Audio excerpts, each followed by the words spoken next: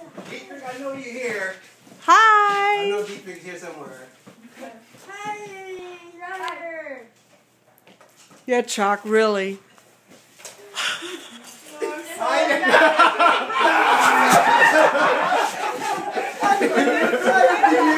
I knew you were here.